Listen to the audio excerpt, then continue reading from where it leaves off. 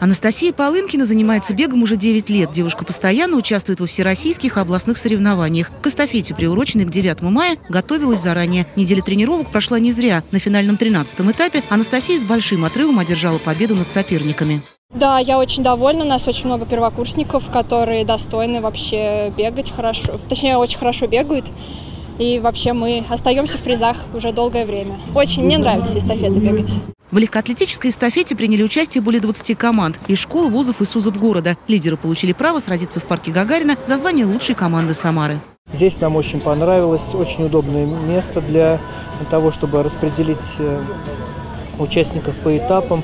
Ну и самое замечательное то, что здесь есть детский стадион, на котором очень удобно наблюдать финишную борьбу, когда решается, кто выиграет эстафету, кто станет призерами эстафеты. Эстафета состояла из 13 этапов для студентов, они бежали на 800 метров, и 14 для школьников, они соревновались на 600. Участников состязания оценивали более 30 судей. Сейчас такие времена, что каждому учащемуся нужны э, портфолио для того, для того чтобы, э, ну, чтобы в школе, в вузах за это стипендию повышают. Поэтому мы, соответственно, каждому участнику получаем дипломы. Также школьники в свое портфолио составляют для выпускных экзаменов.